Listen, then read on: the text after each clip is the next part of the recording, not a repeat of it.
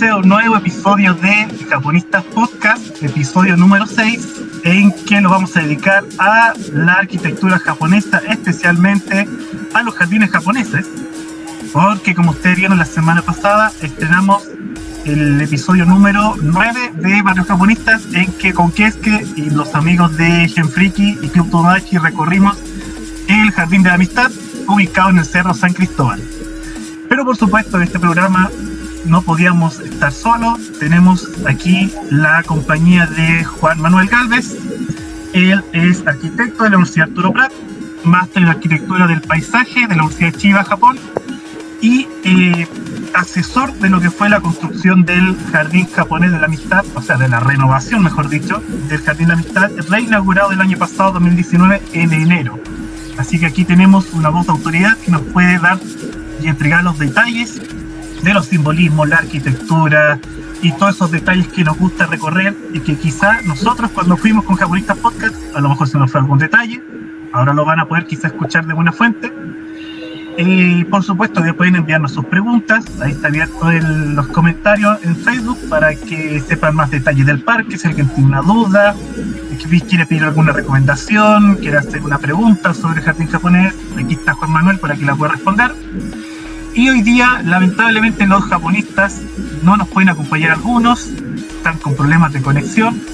Ustedes saben los memes que han aparecido de las conexiones que han caído, han estado muy inestables, pero nos acompaña aquí Andrea, nuestra miembro estable de Japonistas Podcast, nuestra traductora inglés-español. Hola Andrea, ¿cómo estás? Bien, muy bien, de Valparaíso. Desde Valparaíso, exactamente. Nos acompaña Andrea de Valparaíso, aquí para entrevistar a Juan Manuel. Juan Manuel, ¿cómo estás? ¿Cómo estás para esta entrevista? Bien, bien, tranquilo. ¿De dónde te estás contactando, Juan Manuel? En este momento me pillaron en Iquique. ¿En Iquique? Sí. Mira, te ganaron, Andrea. Sí. Mucho pero funciona, por lo menos te escuchamos bien. Sí, no, estoy, estoy en Iquique porque tenía uno, tenía que finiquitar unos temas laborales Ya. y también aprovechar de ver a mi familia. Ah, perfecto, perfecto. Bueno, y eh, primero que todo agradecemos Juan Manuel por el esfuerzo de haberse conectado este día viernes después de su jornada laboral y de tan lejos. Gracias Juan Manuel por acompañarnos a difundir la cultura japonesa desde el punto de vista del paisajismo y la arquitectura. No, gracias a ustedes por la, por la invitación, la verdad. Siempre es bonito hablar de esto, la verdad, porque me gusta mucho, entonces gracias por la oportunidad de también de poder compartir también esto de alguna manera. Ah, qué bueno. Muchas gracias entonces, Juan Manuel. Ahí tenemos también a, nos está acompañando Claudio Javier Pizarro, que nos acompañó en varios episodios de Barrios Japonistas y de Japonistas Podcast. Ahí está saludando Claudio. Entonces les recordamos que durante la transmisión pueden hacer sus preguntas. Ahí mientras aquí Andrea y yo le haremos preguntas a Juan Manuel y conoceremos más detalles del jardín de la amistad y jardines japoneses en general. Primero que todo, Juan Manuel, voy a hacer preguntas del desconocimiento, porque hemos tenido lamentablemente pocas instancias de conversar, a pesar de que nos, nos hemos visto en varios eventos culturales japoneses. La primera pregunta que le hacemos, que nos hicimos alguna vez los japonistas, ¿cómo fue que tú como arquitecto te nació el interés por especializarte estudiar los jardines japoneses? ¿Cómo los conociste? ¿Cómo fue ese acercamiento a la especialización? Cuéntanos ahí un poco. Eh, bueno, como siempre, mis amigos cercanos, eh, siempre detrás de esta respuesta hay una, hay una historia también como súper japonesa, la verdad. Entonces, como que es bien larga y he, tenido un proceso como bien intenso. Eh, bueno, yo cuando esto empezó en el año 97, cuando Ah. yo entré a estudiar arquitectura en primer Año año, simbólico. año simbólico, sí, año muy simbólico. Es como, es bien curioso la verdad cómo se va sincronizando las cosas. Por eso en algún momento como que siento que soy muy afortunado. Y. Tengo como una relación bien estrecha como con el, con el jardín en sí. Eh, en el 97 entré a estudiar arquitectura y me acuerdo que había un ramo que se llamaba color y composición. Y a cada uno de los estudiantes le tocaba un tema, hablar con respecto a la arquitectura. Y a mí me tocó trabajar arquitectura y medio ambiente. Dentro de esas tres líneas estaba estudiar eh, la cultura aymara, que era la cultura del norte, y el otro era estudiar eh, el jardín japonés. En ese Ah, momento, sí, entonces ah, para mí en ese momento eh, tenía que ser tomado establecer como una fusión con estos dos, estas dos como líneas que era la cultura aymara y los jardines japoneses. ¿Ya? Y yo no tenía mucho conocimiento, la verdad, con respecto al, al jardín japonés en sí. Eh, tenía una historia como con Japón, pero como que esto era diferente, no, no tenía un sentido, la verdad, como académico, se podría decir. Ajá. Entonces, me acuerdo que eh, este, eh, en ese tiempo no había internet. Estamos hablando año 97. Exacto, lo sabemos. Claro, entonces yo tenía que ir a, ir a la biblioteca a buscar información con respecto a, a lo que era un jardín japonés. Oye, pero tú, que tú habías ido al jardín japonés antes de eso, ¿lo No. conocías? Jamás. No, si yo había estado, o sea, yo soy, yo nací en Iquique, Ah, ya.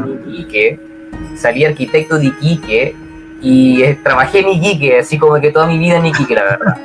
Ah, y, de, con razón, y- ya. y de Iquique llegué a Tokio, fue así como, así como, así como, súper abrupto, la verdad. Entonces, sí, sí, no, extremo. Entonces, en un momento cuando tomo el libro del jardín japonés, empiezo como a ojear esto, y lo que me llamó la atención y que es lo que, en cierto modo, es, es a, a final de cuentas con lo que me quedo después de todos estos años, que lo siento prácticamente como una misión de vida, que el hecho de que en el jardín japonés se dignificaba la piedra y a la roca.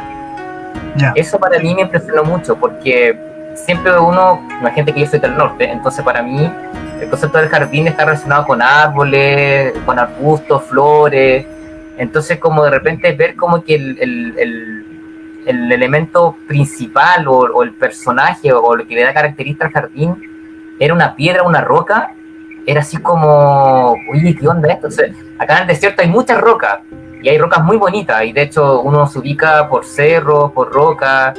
Entonces como que en esta roca nos juntamos o en este bajo este cerro nos ubicamos. Entonces para mí el tema de que la roca y la piedra tuvieran como dignidad, porque era como eso, sentía como que había un espacio especialmente para la piedra. Eso Ajá. me llamó mucho la atención. Entonces como que quedó así como el bichito de ese tiempo. Del año 97 hasta el año 2011, 2011, eh, en ese tiempo yo estaba con una, estábamos con una chiquilla, estábamos pololeando. Y en un momento, por temas del destino, una amiga de ella estaba en Japón y dijo, chicos, casa es su casa, si quieren ven a Japón. Entonces nosotros fue así como, oye, igual como interesante Japón y todo eso. Y postulamos a becas, me acuerdo. Queríamos llegar a través de becas. Postulamos a la Bombuca Acucho y no quedamos. Y Muy yo competitiva. Sí, su competitiva. Y yo desistí, la verdad. Yo dije, no, una vez nomás, se acabó. Y ella intentó de nuevo, y de nuevo no le fue bien. Entonces yo dije, mira, ¿sabes qué? Si está tanto el ímpetu como de ir a Japón, vendamos todos y nos vamos a probar suerte. Oh, Entonces, sí, a la vida, la verdad. una a la vida. Sí, entonces no, nos fuimos y, y llegamos a la casa de esta amiga. Y como yo en ese tiempo era profesor de la Universidad Arturo Prat, eh, en un momento yo dije, em, si hago clases para mis chiquillos y mi intención es como volver, en caso de, también como plan B, a volver a Chile, vuelvo a hacer clases, tengo que volver con algo para, e- para ellos, con algo, o sea, para, para nutrir nuestras clases, porque en ese tiempo yo hacía clases de, de patrimonio, el paisaje como patrimonio. Ya. Entonces en un momento yo digo, ¿qué me gusta de Japón? Así como, como arquitecto. Así como, ¿qué me gusta de Japón? Y conexión año 97. Entonces dije, los jardines japoneses. Entonces dije, pero ¿cómo hago para estudiar un jardín japonés allá? Entonces eh, empecé a buscar en internet. Ya había internet, ya 2000, 2011. Entonces eh, empecé a buscar... Paréntesis, Pero en 2011, ¿cómo lo, lo hacías con el idioma, por ejemplo? ¿Ya lo manejabas? ¿Lo aprendiste allá? ¿Cómo lo No, no, yo eh, me fui como nos fuimos a la vida. Ah, realmente así, ni siquiera con el Sí. idioma. Sí, no, o sea, yo, yo, El inglés, sí, inglés sí. Pero yo era inglés, inglés del colegio, así como jamás hablado. Claro, o sea, así como, vamos, o sea, de Ría nos fuimos a la vida. Que- Entonces yo dije, bueno, yo sabía hiragana y katakana, ya. Pero nada más, o sea, quizá unos 10 kanji, con suerte, o sea, con suerte 10 kanji, yo creo. Pero la cosa es que, bueno, yo dije, eh, voy a averiguar con respecto a jardines japoneses. Y se dio la fortuna de que encontré un seminario que se llama Arte y Construcción del Jardín Japonés, que lo daba una empresa japonesa en Tokio, que es la Kosugi Soken. Y ellos hacen un seminario de dos semanas, yo digo que es como un reality, porque te guardan en, en- una casa por dos semanas con personas que tú no conoces, donde hay así como, hay rencilla y como que, loco, de verdad es un reality. Sí, como que hay dominados y todo. Entonces, eh, en la mañana teníamos clases teóricas y en la tarde teníamos prácticas. O sea, en la mañana estudiamos todo lo que fue la historia, el arte, la construcción, técnicas, eh, hacer unos muros, Era como un internado. era un internado prácticamente, ¿Pero anudación. era para extranjeros o puede ser Sí. japoneses? No, eran puro extranjeros. Ya. eran puros extranjeros. De hecho, eran era bien curioso porque ahí plantamos la, la bandera chilena latinoamericana porque eh, en este seminario que habían existido algunas otras eh, versiones, ¿Mm? habían han- principalmente eran alemanes y alemanes y norteamericanos. Entonces había mucho mucho gringo. Había, en- en- cuando yo estuve habían tres americanos, habían eh, cuatro alemanes, una finlandesa, eh, una, una chica de Australia y el chileno. Y el chileno fue el primero, eh, creo que el primero y el único que ha sido de toda Latinoamérica, en todas las versiones que se han entregado en, en. Oh. Entonces-. Se cumple Siempre la regla. Sí, sí. Entonces en la historia, en la, en la historia del seminario hay un chileno. Entonces la cosa es que eh, en un momento como, como ya como la segunda o tercera clase, Andreas Amacher, que era como el profesor a cargo de, de esto, porque él hablaba inglés y él alemán, entonces ya llevaba, en ese tiempo ya llevaba cinco años en Japón. Entonces Andrea nos pregunta por, cuál era la razón de por qué estábamos ahí trabajando, o sea, estudiando jardín japonés. Ajá. Entonces, los cuatro alemanes estaban estudiando porque estudiaban como en un INACAP de jardines. Entonces, como que querían estudiar sobre jardín japonés. Después, el otro alemán era porque tenía un negocio de jardín japonés. Y bueno, y la otra, las otras dos personas gringas, porque tenían negocios con jardines, eran paisajistas, tenían negocios de construir jardines.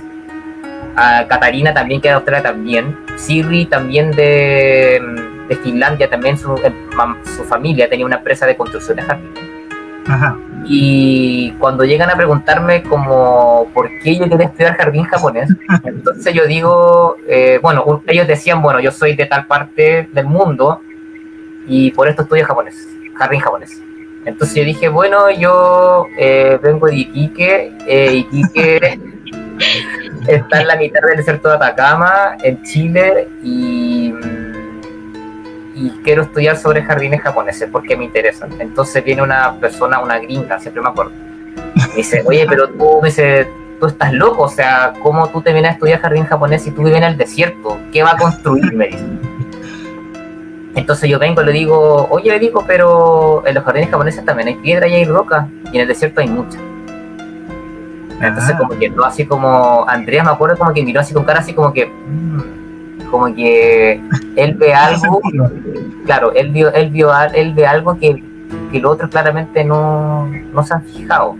Claro. Entonces, eh, me acuerdo cuando ya estaba terminando el seminario, viene Andrea y me dice, oye Juan, me dice, eh, yo veo que tú con el resto de tus compañeros, me dijo, no hay un interés como de ganar plata con esto, me dijo.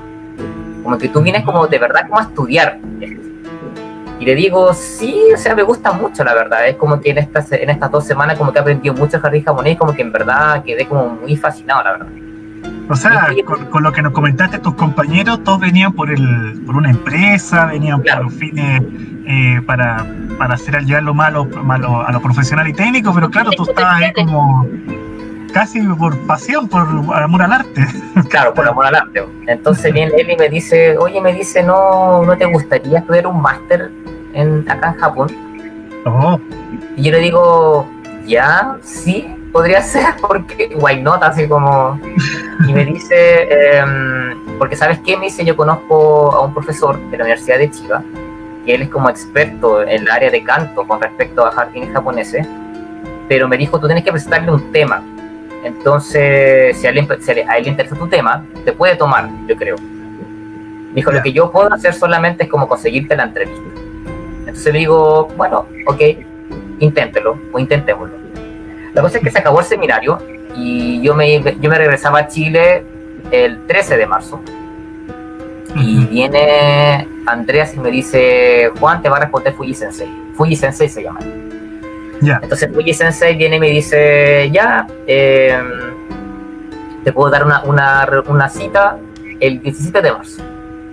oh, Y yo, oh, dije yo, oh. así que pagué la multa y cambié los pasajes porque yo dije, o sea, ¿cuándo se me va a presentar una oportunidad de esta índole, así como entrevista con Fuji Sensei, experto en jardín japoneses, máster en Chiba, entonces, wow, entonces le digo, ya, eh, 17 de marzo estoy ahí. Entonces yo preparo un tema y todo, la cuestión es que eh, establezco, una, establezco una conexión súper como, no sé cómo decirlo, como del destino igual, porque yo cuando estaba terminando arquitectura, eh, mi, mi escuela como que hace una especie como de seminario de investigación y después tú pasas a título, a como construir un proyecto. Ajá, Entonces mi, mi seminario estuve, estaba muy relacionado con la arqueología. Yo estudié a los chinchorros. ya, Y los chinchorros, en su última etapa, ellos tienen como referentes, como me refiero como elementos que contienen su territorio, rocas y piedras paradas. sí, Entonces yo hago la conexión y le hago la pregunta. Le digo, yo a mí lo que me gustaría saber, Fuji Sensei, es cómo en un país, en cómo en lugares tan distintos como por ejemplo Sudamérica y Japón, hay conceptos de levantar piedras por un sentido simbólico. Entonces me gustaría saber por cómo se genera eso, cómo en el jardín japonés aparece la piedra elevada. Entonces, bueno, reflashó el, Fuji Sensei me hizo como muchas preguntas y me dijo, mira Juan, me dijo, yo creo que, bueno, técnicamente lo que yo quería hacer era una investigación, porque la investigación te- es mucho más barato, no tienes que dar el examen de eso y te quedas un año. Entonces mi intención en mi juego era hacer eso. Entonces viene él y me dice, no, mijo, tú no estás para investigación, mijo. tu tema es un máster. Y me dijo, Ah. me dijo, además, me dijo, tienes que apurarte, me dijo. Tienes que empezar el próximo año, me dijo, ¿por qué? Me dijo, porque yo en dos años más yo me retiro como profesor. oh, Entonces fue así como, "Ay", así como ya, como que era todo. Entonces dije, ya, ok, me voy a Chile. Me regresé a Chile. Sí, regresé a Chile, postulé de nuevo por última vez a la Mombo Cacucho, de nuevo no me fue bien, Yo estoy en las mismas, ando en las pero mismas. ay, ya, muy bien. La cosa es que, bueno, eh, trabajé como profesor y como profesor tú no ganas mucho, entonces traté como de juntar la, la, práctima- la plata máxima que podía y en un momento eh, se me presentó ya año ya 2013, principio de 2013, se me presentó la oportunidad de, de un trabajo de diseñar un- una casa. Y eso fue así como ya, ok, input económico y dije ya, ok, aquí yo me voy. Entonces esperé hasta, como ya no alcanzaba a ingresar al, al primer semestre, tuve que hacer tiempo hasta al segundo semestre que empieza en agosto, octubre, pero tienes que dar la prueba en agosto. Entonces, eh, junto más dinero y me voy a Japón a estudiar sobre eh, la pregunta de por qué habían piedras.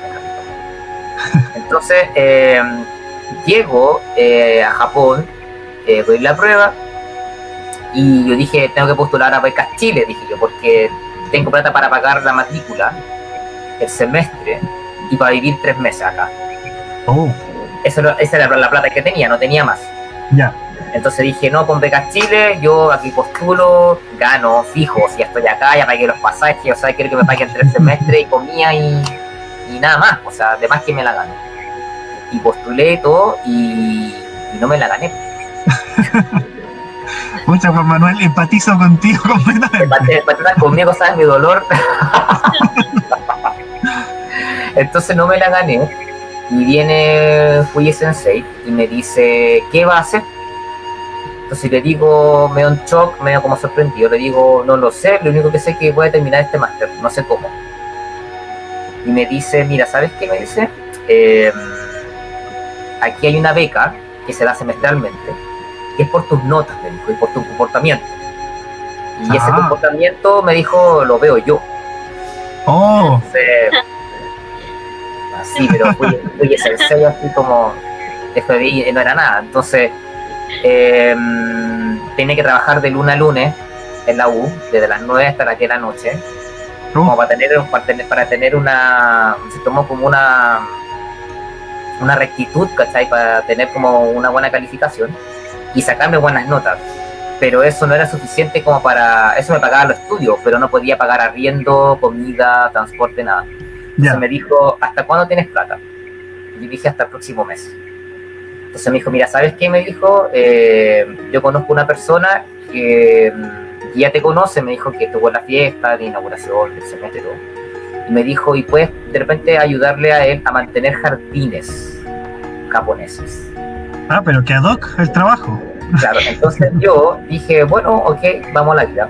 Porque yo también en algún momento, cuando en- dentro, de mi, dentro de mi campus de Matsudo, en la Universidad de Chiba, es horticultura. Entonces nosotros, no- mi departamento lo que hacía era ayudar a mantener el, el bosque donde estábamos situados en Matsudo.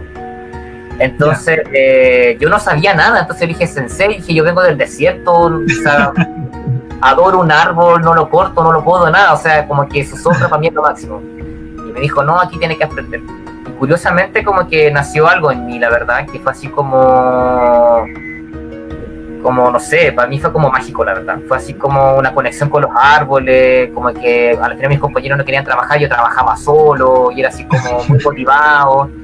Y de repente me acuerdo que una vez estábamos arriba de unos pinos, podando todos mis compañeros, y, y era invierno, hacía mucho frío. Y pasó como una. Yo siempre cuento esta historia porque me, me- me- como que yo, ese fue como el momento como de día, porque pasó como una, una neblina, entonces en el momento estábamos todos arriba de la neblina, flotando arriba de los pinos, no se veía el suelo. Entonces cuando estábamos Oh. podando, estábamos podando los pinos, y yo miro esta imagen, estábamos todos en silencio. Entonces yo digo, no, yo quiero hacer esto eternamente. Así como yo me quedo en Japón, no sé cómo, jardines japoneses, no regreso a claro, dije, no hago más clases, me quedo acá. Fue como ese pensamiento, la verdad.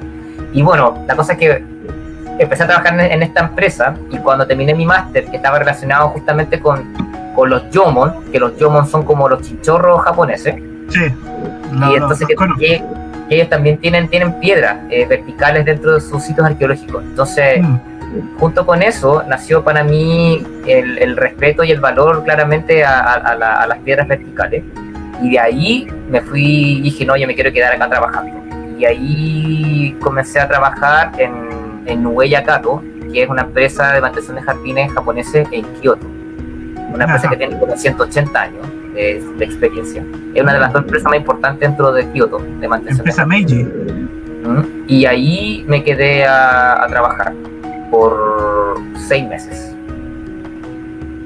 Y Oye, después de pero ahí, bien, bien interesante tu historia y, y lo que dices tú y lo he escuchado de varios que han trabajado y tenido su experiencia en Japón. Eso de que allá se iluminan y pues usan estas cosas casi sobrenaturales, muy anime, sí, eh, pasan harto. sí, no, sí, no, eh, Japón tiene como una energía, yo creo, con respecto a ese tema, aunque uno no quiera buscar, es como que está, la verdad, es como... Bueno, es que son tierras milenarias, culturas milenarias, entonces creo que la energía está ahí, pero aparte que una isla, entonces como que está todo ahí, pero como todo pasando en los otros planos, así como... Claro, entonces, la, bueno, y la, la misma geografía y el clima japonés te forman toda una ambientación muy especial como para ideal para meditar, tomar decisiones, encontrar uno el norte. eh, lo he escuchado varias veces eso. es que lo que pasa es que igual yo creo que el otro día conversamos con una amiga. Yo decía que cuando tú te vas, usualmente la gente que se va a Japón, eh, o sea, si estamos hablando de Latinoamérica, de Latinoamérica te vas a Japón. O sea, de partir de una isla, 16.000 kilómetros, estáis solo. Y cuando estáis solo, tu mejor amigo eres tú. Y, y con quien conversáis solamente eres tú. Entonces en un momento te salen todos los demonios, todas esas cosas en tu cabeza. Entonces como que hay un orden, yo creo. Hay como un orden como de, de, de- de tu mente, de tu espíritu, como de todo eso y decir, a ver, ok, te limpiáis, pues como que decir, a ver qué, qué es lo que me está pesando, qué es lo que me está sobrando y al final empezáis como a limpiar, yo creo. Entonces ahí claramente este tema de la soledad, el estar solo, el estar lejos, que si bien por ejemplo igual hay conexión con esto, pero a través de esto, pero aún así está ahí, hay 12 horas de diferencia, a veces no coinciden todos los tiempos. Entonces hay momentos, y por otra parte la naturaleza en Japón es tan fuerte, es muy fuerte la naturaleza. Sí. Los vientos, el calor, la humedad, el frío, la nieve, no sé, la, la cigarra, es como que todo es tan, los tanuki, como que todo es tan, tan, fuerte. intenso. Es muy intenso, de verdad. Es muy Eso, intenso. esa es la palabra que andaba buscando. Intensa, se siente. Entonces, como- se siente. Exacto, entonces como yo creo que esa intensidad, a final de cuentas, como que te atraviesa. Y es como que no te puede ser indiferente Japón. Entonces, a la final, sí, prácticamente yo estuve casi cuatro años en Japón.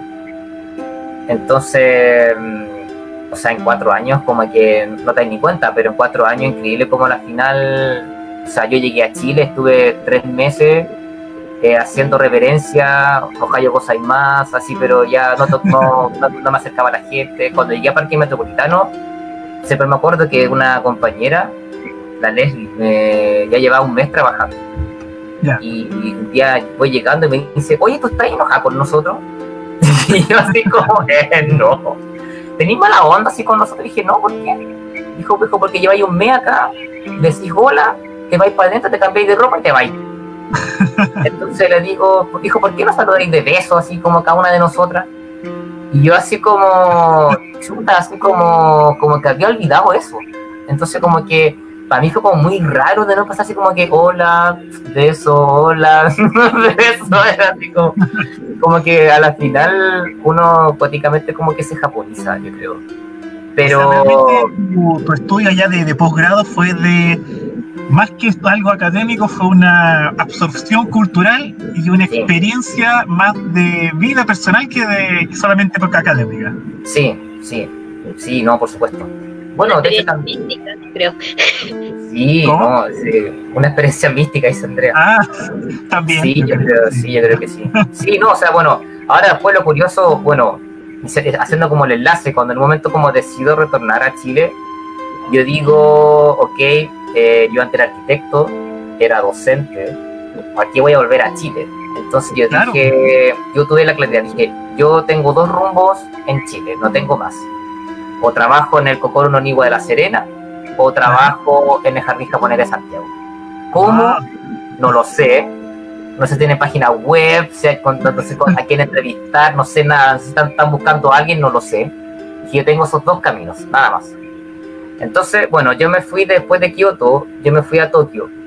Y en ese me di como dije, ok, me voy a Chile, realidad cuatro años Japón. Entonces dije, quiero un regalo antes de irme a, a Chile. Entonces dije, me voy a dar dos meses en Tokio.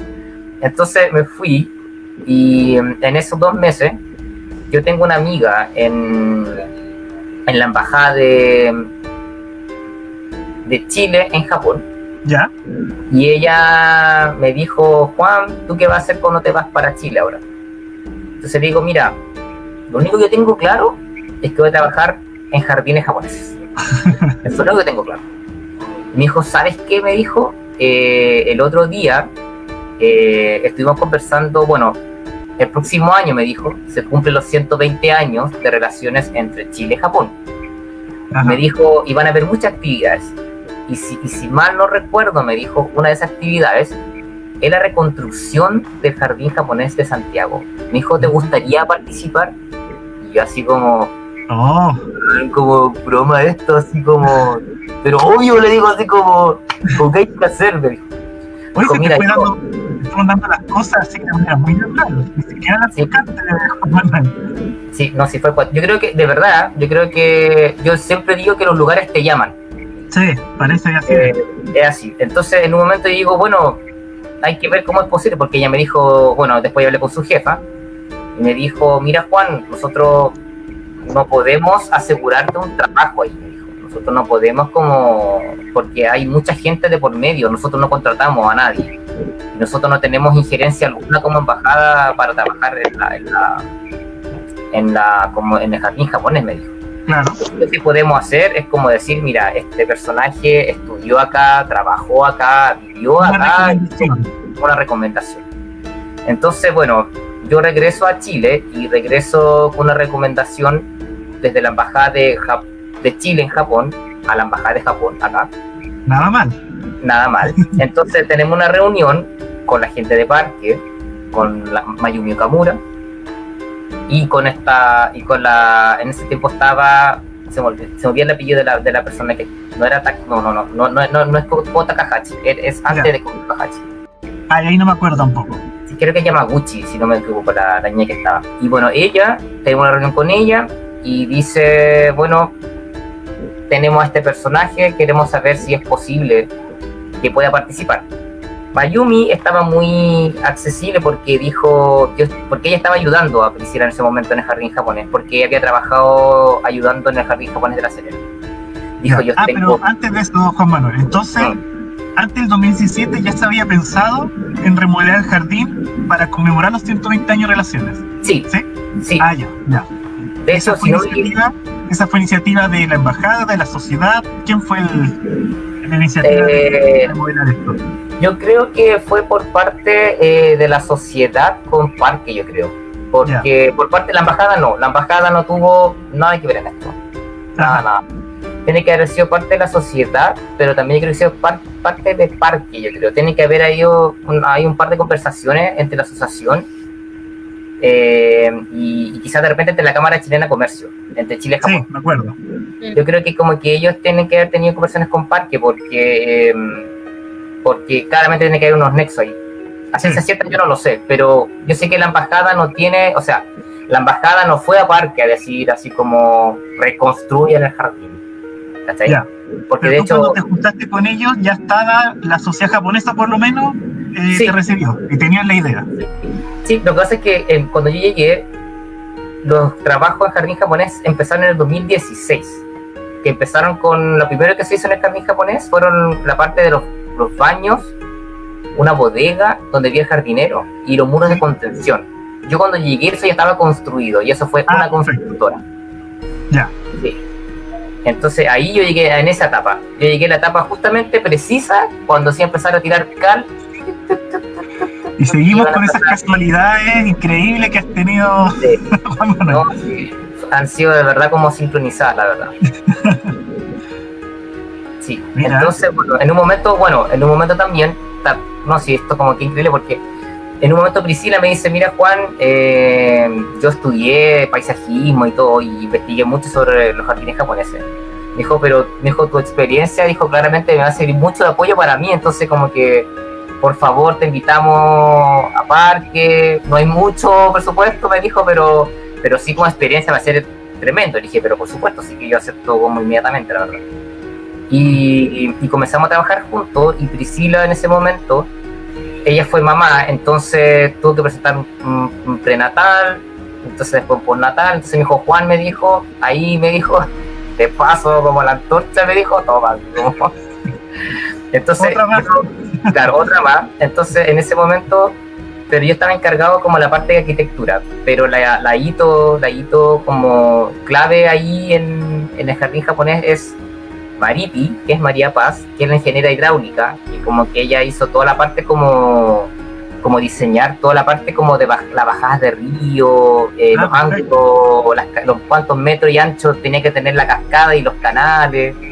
Ella como Ah, que ya. diseñó- ella, ella era leíto y preocupada como de todo eso, pero también de la, de la obra en total, como Oye, qué interesante eso que nos está diciendo, porque por lo que estoy viendo y mirando desde afuera, por supuesto, es bien multidisciplinario el diseño de un jardín. ¿no? Porque Sí, ahora no. han nombrado que hay arquitectos, que hay paisajistas, ahora hay ingeniería hidráulica.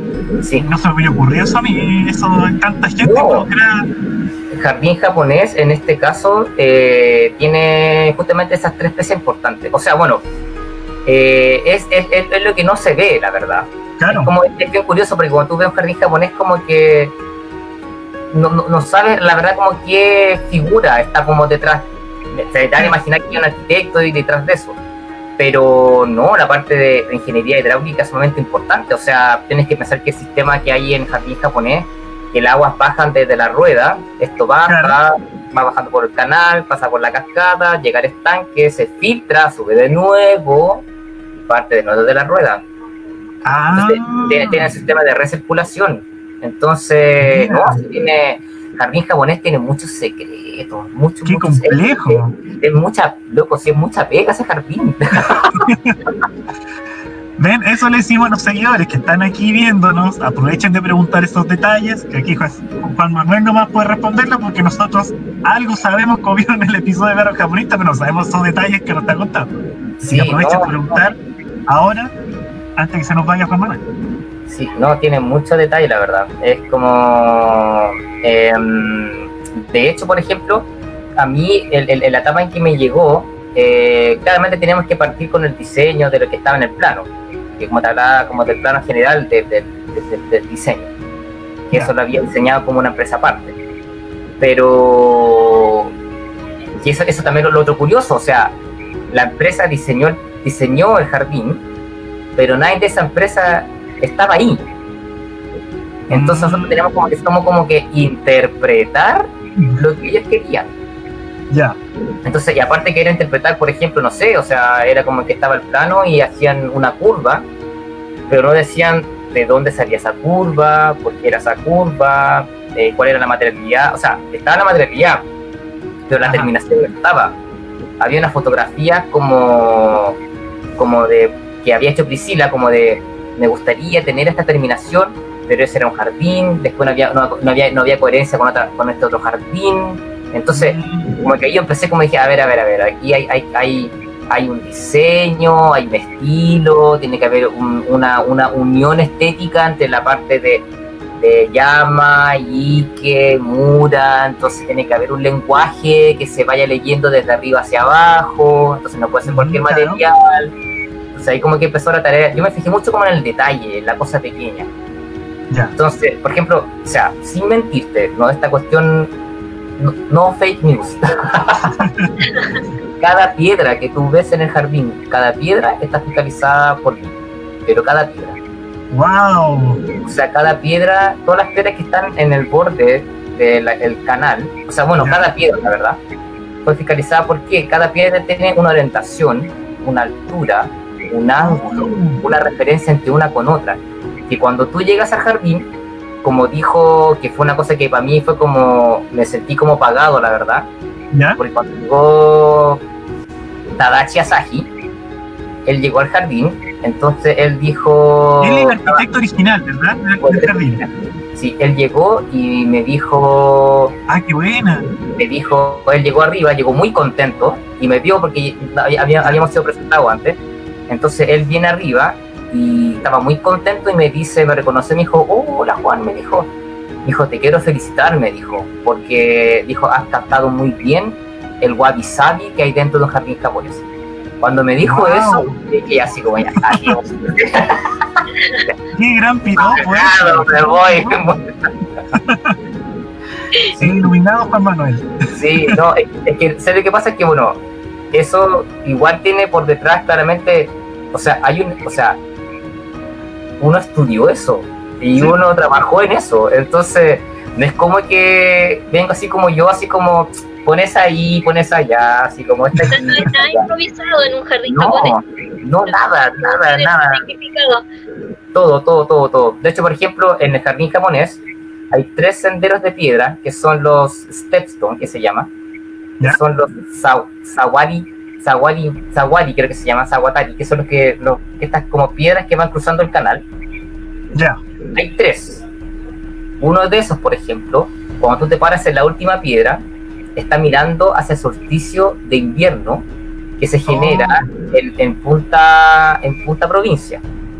Y después, en el que viene más arriba, cuando termina la, la piedra final, tú te quedas mirando hacia Punta Ramón, donde se genera el solsticio de verano. ¡Wow! Y en el, y en el stepstone de arriba, cuando tú terminas en la última piedra, está dirigida hacia Cajón del Maipo, que es donde se originan las piedras, donde vienen las piedras. Oh, Y después está el puente curvo, y ese puente curvo hay una roca que como que sale volando. Entonces tú das cuenta, esa, esa, esa punta atraviesa el puente y apunta hacia Valle Central. Entonces hay muchas direcciones y mucha información oculta en el jardín japonés. ¿Y cómo un mortal como nosotros podemos descubrir eso? A través de la observación. po. Por Material eso, para libro. Sí. ¿Ah? Lo que pasa es que, bueno, hay una... Sí, sí, no, sí. O sea, es que bueno, parte de la parte de la tarea que, que, que igual está como entre comillas pendiente, el hecho de justamente como de, de hacer difusión un poco de esto, la verdad. Ajá. Yo no lo puedo hacer de manera particular porque yo no, per- yo no pertenezco a Parque. Entonces, eh, puedo hacerlo a través de esta manera. De hecho, cuando yo hago visita a todos mis amigos o personas que me piden, amigos de mis amigos, oye Juan, ¿sabes que va esta persona para allá? Por favor, puedes llevarlo tú. Yo he llevado un par de japoneses y le he explicado. Entonces, eh, Pasas de arquitecto a guía turístico. Exacto. Y ahí como que yo aprovecho de decir toda esta información y, y claro, pues para que en cierto modo también vaya haciendo como se vaya, se vaya haciendo una difusión también de esto. Porque no está, pero bueno, yo siempre digo, o sea, una parte del video yo digo, en el jardín hay muchos secretos, justamente eso es también lo que tiene un jardín japonés. Un jardín japonés también no puede revelarlo todo, tienes que descubrirlo a través de la contemplación. Por eso hay que ir más de una vez. Porque Sí, a siempre mí me ha va a pasado eso. El, el remodelado jardín japonés lo he visitado hasta ahora tres veces. Y las tres veces siempre he descubierto algo nuevo. Y yo creo que ahora que si sigo yendo con lo que me acabas de decir, obviamente voy a descubrir muchas más cosas. Sí, sí, no. Muy sí. interesante. Sí, no, sí, eso, por ejemplo, no sé, la parte, me acuerdo que una vez estábamos construyendo la parte de la cascada, entonces me acuerdo que llegó el momento, porque primero a mí me tocaba, yo tenía que escoger cada roca y cada piedra, esta sí, esta no, esta sí, esta no, esta no, esta no, esta no, esta no, esta sí, muchas Ah, veces eso fueron ya- no, Eso te iba a preguntar, Juan Manuel. ¿Tú estuviste ahí involucrado? ¿Estuviste en terreno viendo cómo llegaban los materiales? ¿Tú ayudaste a, a- a mover cosas, a construirla, a montarla? ¿Tú estuviste en esa, pa- Sí. en esa parte?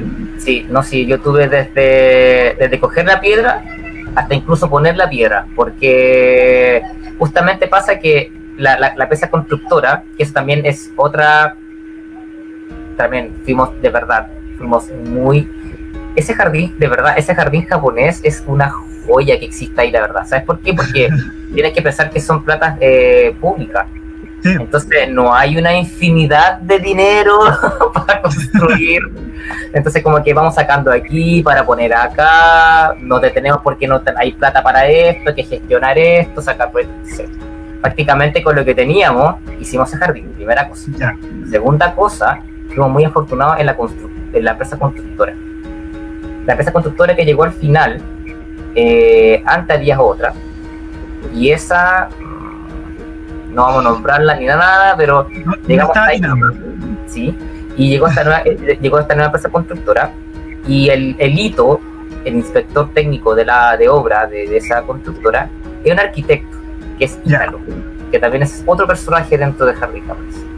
Y Ítalo también es una persona muy detallista. Entonces, con Ítalo hicimos un trabajo muy de terreno, de preguntar. O sea, yo, por contrato, tenía que ir dos veces a la semana. Ah, ya. A veces yo, a veces yo estaba de lunes a sábado. O sea, y los otros días. Bien, gracias. gracias por tu apoyo. Pero no importa, yo súper contento porque aprendí mucho, aprendí mucho. Y justamente eh, la gente que trabajaba, la constructora, si bien había hecho trabajado, había, probablemente tiene, tiene una, una trascendencia de, de construcción, nunca habían hecho jardín japonés. Entonces yo tenía que estar explicándole al grupo piedra por piedra y el por qué cada piedra tenía que ser así. Claramente, Y en esos momentos, mientras tú estabas ahí fiscalizando, mirando, seleccionando, eh, también estuvo participando Tadachi Asahi ahí? No, ¿No? no, no, no. No. fue al final solamente. Sí, fue al final nomás. Sí, Ah, ya, ya. sí. Sí, fue al final nomás. Sí, Para darle el visto bueno. sí, fue haber visto bueno al final. Sí, no está bien. No, muy, muy respetuoso también por lo demás. Mira, qué bueno que, que le gustó. Me, gustó eso. Sí, sí, no, sí, le, gustó. Hay una pregunta sobre el primer jardín japonés que él hizo, que no- he investigado, buscado, pero no he encontrado la respuesta. Yo sé que este jardín se creó en el año 78, Sí, pero no he encontrado el por qué. ¿Cómo nació la iniciativa de crear en ese año y por qué ese año se creó el jardín japonés? ahí, Ajá. mira, ahí hay como una. Yo he escuchado como, claro, tú- yo me imagino que tú aquí tú me vas a matar porque claramente sí, pero Juan, tuviste la oportunidad. Así No me digas Pero- que no sabes, Juan. claro, claro. No, pero yo he escuchado de que. Yo sé que aquí hay, hay, una, hay una mujer metida. Eh, yo sé que hay una mujer que o- o- en este momento yo, yo olvidé el nombre de esa persona. Que ella fue como la que, en cierto modo, de, de ella tenía una relación muy estrecha con el cerro, con el cerro San Cristóbal y ese lugar. Ya. Y a ella se le ocurrió construir un jardín japonés ahí. Mm, Entonces ella en cierto modo empezó como a gestionar un poquito, me imagino que tiene que haberse contactado de repente con, con alguien de, mm, por ejemplo, no sé, mira, eh, hace poco, hace un par de meses atrás, un tipo me contactó porque yo hacía, había hecho jardín japonés y todo, y me dijo, oye Juan, me dijo, ¿sabes qué me dijo? Mi abuelo trabajó en la construcción de la rueda del jardín. Yo oh, así como, oh, ya, súper interesante. Y él decía que ellos se tiraban de ese cerro hacia abajo cuando niños, con unos carros y todo eso. Y decía que eso era como muy abandonado. Entonces Ajá. yo creo que la, la intención en un momento apareció de esta, de esta mujer y se contactó, me imagino que, porque como ya estaba el jardín japonés del, del Santa Lucía, claro. me imagino que se tiene contactado con la, con la sociedad. Y en un momento Tadachi me cuenta de que cuando a él se le hace el encargo de hacer el jardín japonés, eh, él me dice, eh, a mí me llegó el encargo porque yo era japonés de la sociedad y era arquitecto, pero yo nunca he hecho un jardín japonés. Entonces Oh. para mí, para mí fue como un desafío y un honor, por supuesto, que me pidieran que hiciera un jardín japonés.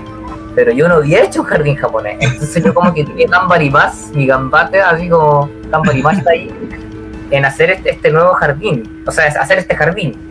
Entonces él, eh, hay algo incluso porque dice que en ese jardín, en el primero, está en cierto modo eh, la misma idea que está presente hoy en día, que es que abajo está Ike, que es estanque, después viene Ah. Mura, que es el pueblo, y después viene Yama, que es la tercera etapa que aún no se ha construido. Entonces Ah. él, de cierto modo, también reúne lo mismo en el jardín japonés pequeño, que está Ike, a través del estanque, Mura, que se le dio el toque con la rueda, con la famosa rueda, o esa rueda, polémica esa rueda, y Yama, yo, yo, y en un momento dije, ¿dónde está Yama? Entonces en un momento yo estaba trabajando, yo me acuerdo que estaba, yo me quedaba, porque después, esa también la, la otra pega que también es la pega oculta, que, que a mí me tocó podar todos los árboles del jardín japonés porque no habían sido podados 40 años de manera correcta. Oh, Entonces yo después del trabajo me quedaba más encima podar.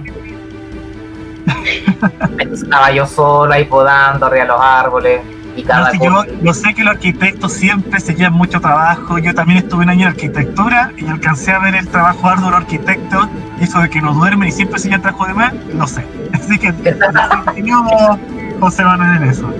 Puta. Así que bueno, y en, e- y en ese trabajo de la, de la poda, eh, un día contemplando el, jar- el jardín, el original, me doy cuenta que, que los muros de, de- de piedra, por ejemplo, están, hay, hay, un respaldo donde está la rueda, ¿cierto?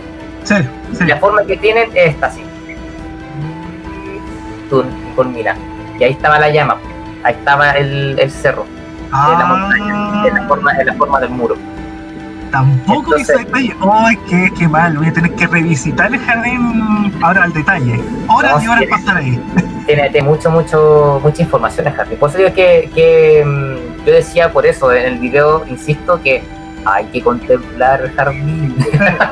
No, yo, yo entendí la idea, pero Pero claro, como uno no tiene la vista entrenada y tampoco no tiene los conocimientos en un jardín japonés, de nombrar esos detalles.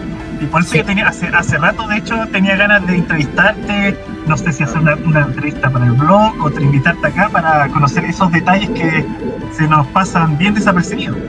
Los detalles Los detalles ocultos.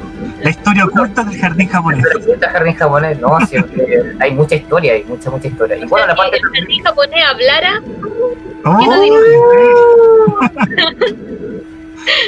sería, como sería como 10 videos de los que yo hice. Oye, Juan Manuel, ¿no has pensado tú como arquitecto escribir un libro pero arquitectónico paisajista del jardín japonés? Contando esta, Eh, esta anécdota, dándole vuelta a los simbolismos, Sí, eh, las sea, experiencias desde, desde perspectivas de Japón. Sí me, me lo han propuesto, pero la verdad como que no me he sentado de repente en este tiempo de cuarentena. Podríamos empezar como a escribir algo. Sí, yo Claro. creo que sí. Sí, porque en un momento pasa eso, es como que eh, está pasando el tiempo y como que se está perdiendo mucha información con respecto a, a lo que hay en el jardín japonés. Que de hecho, a mí me pasó algo bien curioso porque yo me hice muy bien, muy, muy cercano a Don Juan, que es quien mantiene el jardín japonés de la Serena.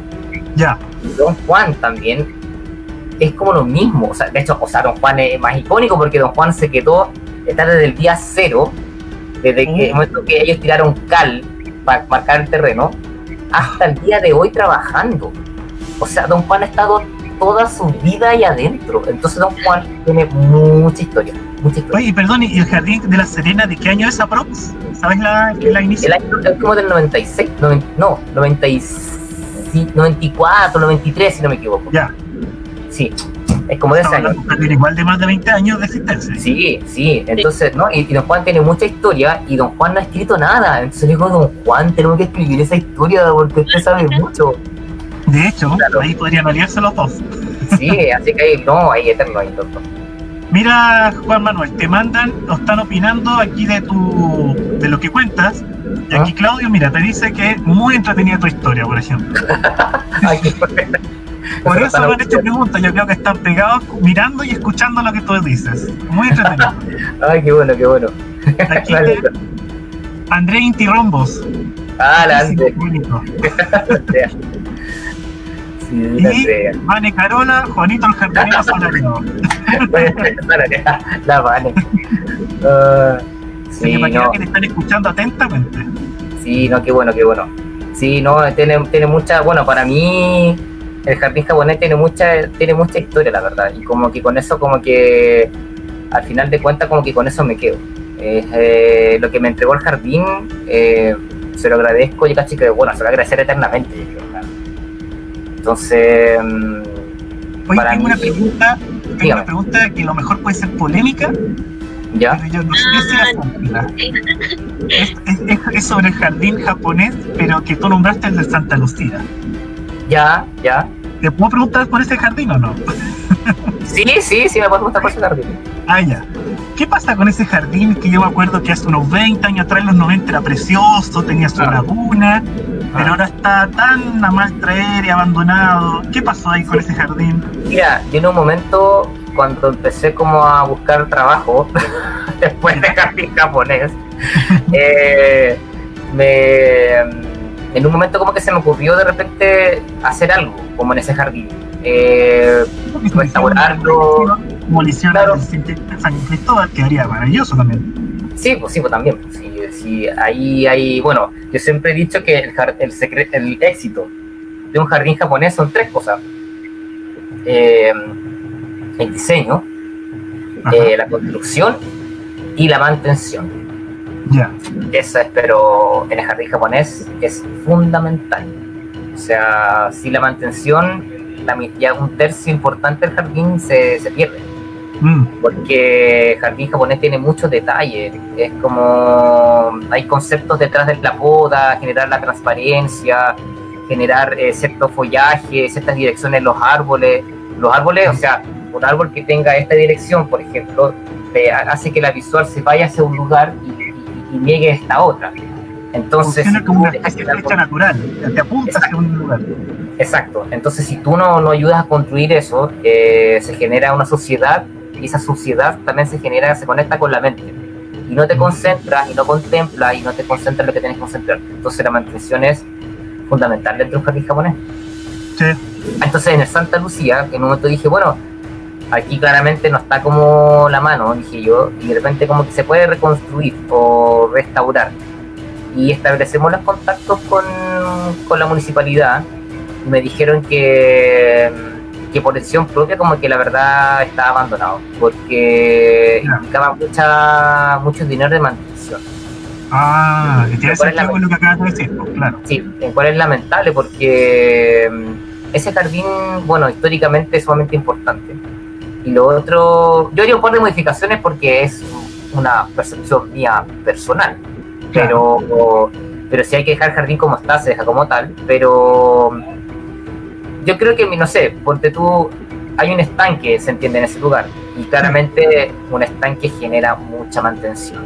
Mucha Sí. mantención para que se, se mantenga limpio, para que el agua se renueve, para que se mantenga, si le pones peces también es tema. Entonces, eh, yo en un momento le quería plantear de repente, bueno, entonces podíamos plantear de un, de un estanque a un estanque seco, con gravillas, con vegetación, que, no, que esté en el mismo lugar, entonces generar otro lenguaje para evitar el tema de la mantención de las aguas. Pero no está como porque porque eso, eso pertenece a la, a la municipalidad de Santiago. Entonces como que la municipalidad de Santiago estaba en ese tiempo como abaratando costos así, pero ya prácticamente como que están regando porque tienen como que salva- salvaguardar un poco la vegetación que está en Santiago. Pero, pero justamente hay toda una política a nivel de Santiago total como de generar mero, casi muy pocas áreas verdes, porque eso es, es mantención y es agua. Sí. El agua ahora no está como abundando mucho. No.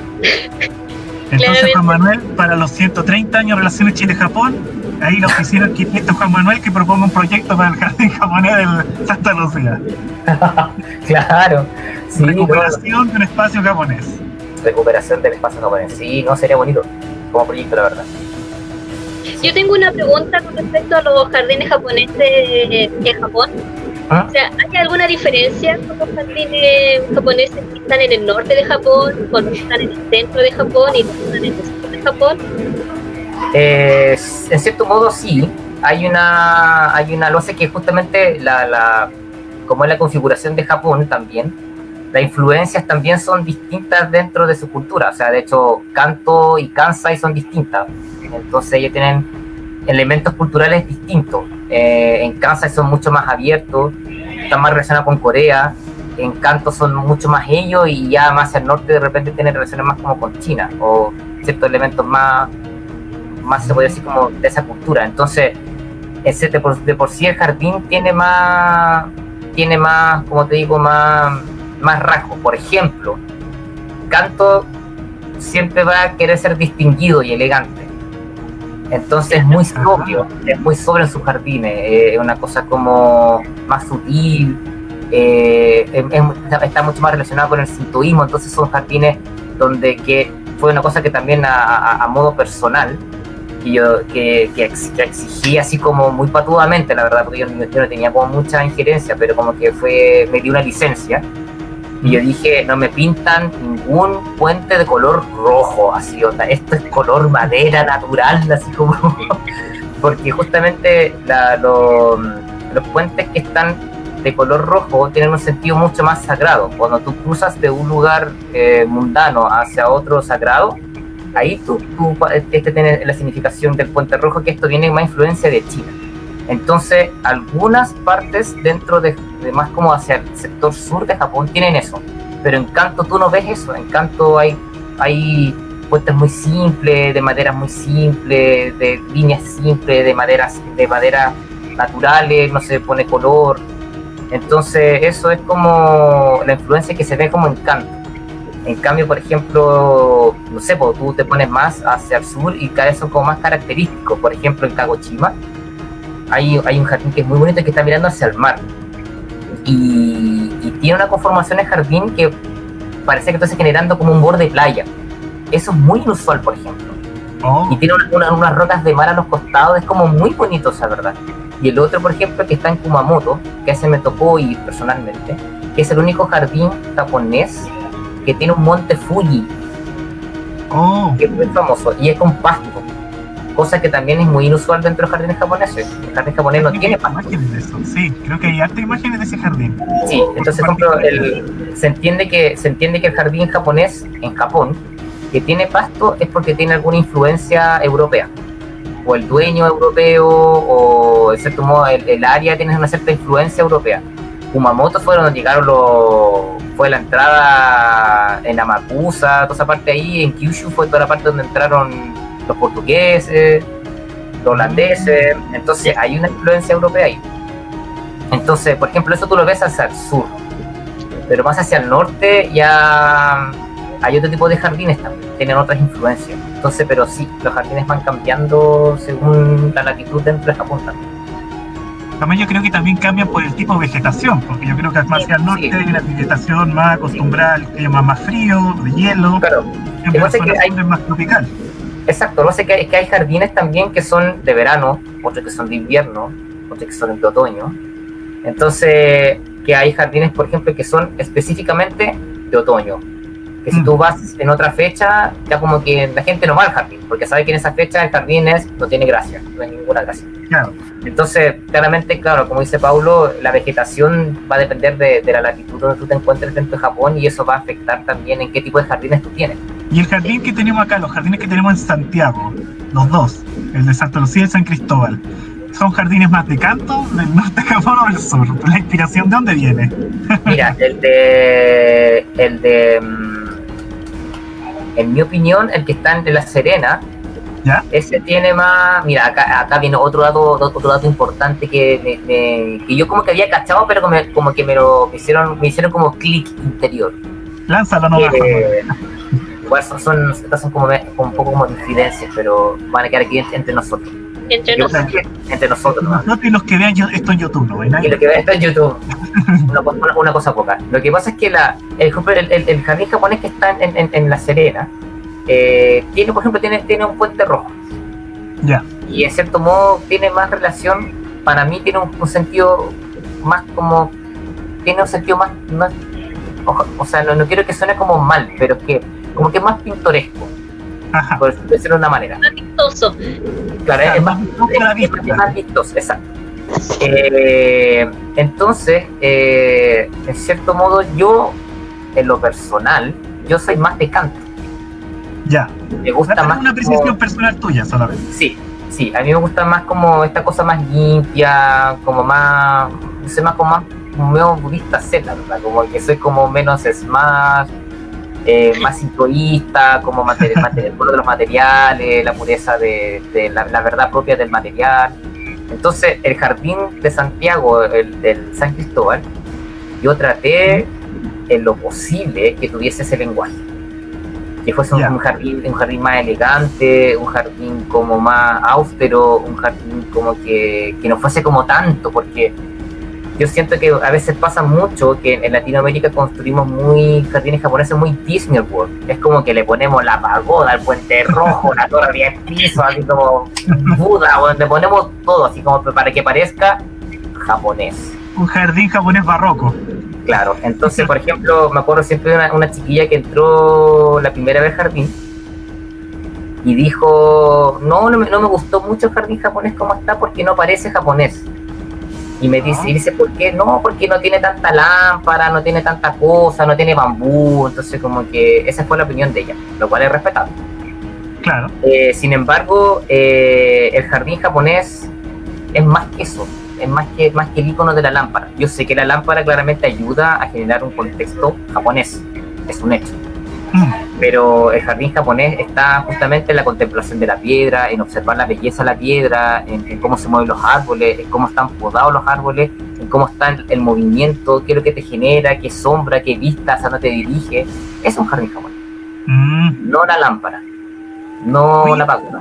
Y ahí con respecto a las lámparas, en el programa, cuando estábamos recorriendo, surgió la pregunta de si las lámparas que están ahí son las mismas que estaban en el jardín anterior, Eh, nuevas que las cambiaron de lugar, están en otros lugares, ¿o no? Sí, la. Es que me estoy guardando la lámpara, la lámpara de arriba y abajo está la torre. Y no, Claro. hay, no ninguna otra lámpara más. no sobrevivió, no sobrevivió ninguna otra más, la verdad. Ya. La lámpara, la lámpara que estaba arriba es una lámpara que se llama Arangue.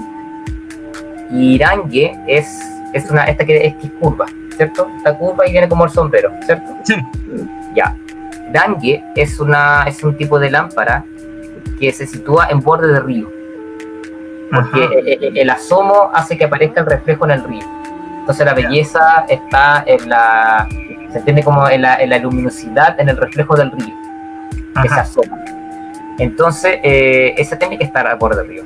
Esa originalmente no estaba en un borde del río y estaba muy escondida. Sí. Entonces, una de las tareas que me dijeron a mí era, tú ubica la lámpara donde tú creas que es conveniente. Entonces, yo empecé a visualizar el jardín y yo dije, claramente tengo que generar, eh, entre comillas, como postales. Ya. porque Que sea un lugar como- fotogénico para el visitante. Exacto, porque, eh, porque el, el- el jardín japonés, como sen- el jardín japonés siempre ha tenido un sentido escenográfico. Ya. Hay un punto y aparece atrás el jardín. Entonces empecé a buscar, dije, ¿qué parte, entre comillas, está como menos japonesa o que debo potenciar? Entonces, cuando empecé a buscar el- en el borde del canal, donde está situada Arangue, está esta curva, está el puente de tierra, que para mí el puente de tierra es el más hermoso, pero es el menos digno porque es el más humilde, ¿cachai? Porque son, se ven dos, dos troncos de madera y está el río. Entonces yo dije, a este lugar le tengo que dar una dignidad. Entonces, y estaba justamente la curva, porque como el inicio genera la curva, empieza a bajar el canal, pasa por el puente curvo, bajo el Sí, canal, tu bajada. Claro, entonces esa, esa, esa tiene que generar, en, en Japón se genera una continuidad a través de la triangulación. Mm, Este punto, de este punto, de este punto, de este punto, de este Ya. Y esa es una triangulación. O sea, de este punto me voy acá, me voy acá. De este punto me voy acá, me voy acá, me voy acá. Y así. Ah, Entonces, eso, por ejemplo, eh, se generó en esa matemática, en ese lugar. Entonces, está la lámpara, está el puente, y en el puente se asoma la torre. Entonces tú generas tensiones visuales de continuidad. wow. Entonces, eso, por ejemplo, eh, la, la gente no se da cuenta de eso. La gente como que lo vive nomás. lo vive. Claro, para nada. Pero, o para sea, nada.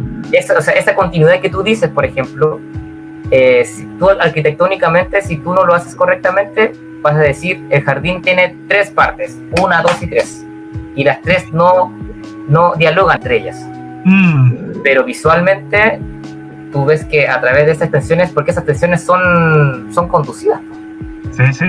son Yo pensadas. por, yo por lo menos por lo que veo la fotografía de la gente ya para allá, eso de la del jardín japonés como un lugar escenográfico y fotogénico está más que logrado eso. Mm, Yo me fijé cuando fui también, traté, cuando, como yo era el que iba grabando con la cámara, sí me me fui poniendo varios ángulos. Entonces, Ya. en el ángulo en que me ponía, siempre había una vista bastante interesante. O se veía la panorámica Santiago Oriente, que contrasta con el mismo jardín, Sí. las miradas hacia arriba del jardín, hacia el cerro, en bajada o hacia las lagunas. Siempre son Ah. vistas muy atractivas visualmente y siempre hay muchos elementos para analizar. Lo encontré maravilloso eso. Por Y ejemplo, no se eso... a sí mismo tampoco el jardín, como que no se, no se opaca. No, no, no, no, se trató como lo posible de, de justamente como... Eso también, por ejemplo, se logra, ¿sabes cómo? Que también fue una tarea titánica, que, que fue, me acuerdo que un día yo no fui a jardín, entonces le digo, están los planos, trace los senderos como están en los planos, por favor. Yo llego mañana, o sea, pasado mañana y quiero ver los senderos trazados para yo empezar a hacerlo. Ajá. Ellos llegaron, trazaron los senderos como estaban en los planos. Ah, y era una cosa así, pero mal. Era como que la dirección es mirada por otra parte, los ángulos como que era súper duro, era como que, por ejemplo, hay una cosa que es muy bonita, cuando tú caminas desde abajo hacia arriba, me imagino, me refiero cuando tú vas subiendo, pasa el puente curvo, Ajá. sigues caminando y tomas esa curva y llegas al puente de, de madera, este que, ¿cierto? Y cuando Sí. te paras en ese punto, tú miras derechito hacia el frente y está la cumbre de San Cristóbal. Oh, Ese ángulo, ese ángulo fue un show armando. Porque lo- lo- los maderos no alcanzaban, tuvimos que rellenar, que la cuestión aquí. Entonces, donde tú estabas acá, hasta acá el sendero de hasta acá el puente de madera. Tú tienes que generar una curva así que te va guiando y se amarra con el puente y tú miras hacia, hacia Casa Cristóbal. Cuando esto estaba, estaba el puente así, el sendero llegaba así. Entonces, mal, porque estaba así en los planos. Entonces yo tuve que trazar sendero por sendero marcando las visuales. ¿cachai? Y decía como que aquí va a llegar la persona, va caminando por acá, va a ver esto, va a ver esto, esto, esto, esto, culmino acá. Entonces yo tenía que hacer así. Tac, tac, tac, tac, tac, tac, tac, tac, tac, tac, tac, tac, tac, Ah. así. Sendero por sendero. Imposible hacer ese jardín desde un plano, desde una oficina. Hay que estar ahí entonces para formar esas vistas. 100%. Mira. Sí. Y justo nosotros que la semana pasada habíamos hablado de Ukiyo-e, justamente ahí también tienes intención de captar las vistas, como la- Sí. las 100 vistas del Monte Fuji, por ejemplo. Son el mismo Exacto. elemento, pero distintos ángulos y con distintas perspectivas. Exacto. Sí. Entonces, lo sé que hay muchas cosas. Lo que ese es lo lindo de como entre comillas como de la cultura japonesa, que lo que tú ves en Ikebana, lo ves en el jardín japonés, lo ves en el lo ves en muchas cosas. En literatura todo dialoga en la, el arte Claro. japonés. Eso es lo bonito. Por eso la mira holística de japonista, pues, Andrea, ¿viste? Sí. De veras, claro. Por eso la Por supuesto. holística.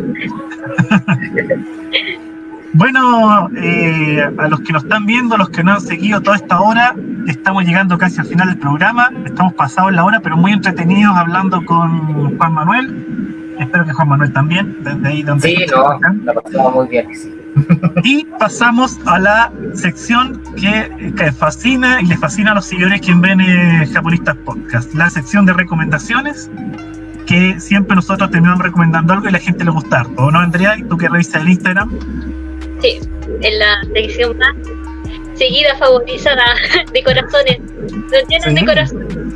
Bueno, y para explicarle a Juan Manuel, lo que hacemos aquí al final del programa, Juan Manuel, es recomendar algún libro, película, eh, serie, cualquier cosa que a ti te guste y tú creas que la gente pueda ver, leer o buscar, por si tú crees algo interesante. Entonces, no sé si Andrea, tú tienes algo o Juan Manuel algo en mente para compartir, recomendar, Yo tengo una recomendación de, de una cuenta de Instagram ¿ya? y yo la amo, amo esa cuenta de Instagram porque es de, de Aomori, que es la parte norte, norte Ah. de Japón, antes de saltar a, a Japón. Ah, Y es ya. una cuenta de o sea, una persona que encontró las fotografías del papá y son de los años 50 Ajá. y el material inédito de Aomori. Y la cuenta se llama Choichi-Fudo-Aomori. Después yo voy a colocar toda esa, esa información Claro, en supuesto. Pero Juan esa cuenta es maravillosa. Para mí es la mejor cuenta que yo he descubierto en mi vida en Instagram. ¿En serio? Tan así. Tan así. sí. Juan Manuel, ¿tienes tu recomendación? Yo a tratar de acordarme algo acá en Instagram, pero no, no podría decirte. Porque para conocer, no sé qué, hay, yo a veces sigo páginas que siguen, ¿cómo se llama? Eh, jardines japoneses Ya, o imágenes dentro de Japón. Me imagino que usted hay estas Ande páginas muy buenas ahí. Sí, hay páginas muy buenas. Eh, una que de repente le puedo recomendar que se llama Japan Peak. Arroba Japan Peak. Sí, hashtag Japan Peak. Ya. Ahí, Ahí salen varias fotos de jardines japoneses si les gusta para que visiten y también de las ciudades también son muy buenos lugares. Así que eso Muy voy a bien. como recomendarle rápidamente.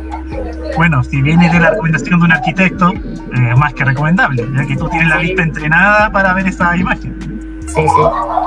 Sí, y no, y, y para y una recomendación que imagino que ya todos la, muchos la han visto y todo eso, que para comprender un poquito también lo que pasa en el jardín japonés, como para comprender Japón, a mí me sirvió mucho, o me enseñó mucho, bueno, no que no Hime, que, que es la película de Ghibli, que Ah, ahí se, ve, se ve mucho con respecto como a, a la espi- espiritualidad la naturaleza. Eso se ve mucho en los jardines, la verdad. Así que eso ¿no? De hecho, cuando tú, tú hablabas del rojo, por ejemplo, esto que marcaba el lugar a un paso más sagrado, me acordé mucho de Chihiro. El viaje Chihiro. Dije Chihiro. ¿La viste esa? ¿La Sí. viste esa Juan Manuel? ¿Viaje Chihiro? Sí, sí, sí, la vi. Hermosa. Eso, me acordé mucho de él. Sí, Y bueno, para terminar, la recomendación que hago, ya que hablamos jardín japonés, dos, dos recomendaciones. Esta revista, a lo mejor varios lo tienen, 2011, a lo mejor japonés también lo conoce. Ah, sí, nipónica, que habla de los jardines japoneses en español. ¿Ven? Y ahí está, está ligándolo con el, el, el budismo zen, como habló José Manuel, la revista nipónica, para que la pueda conseguir.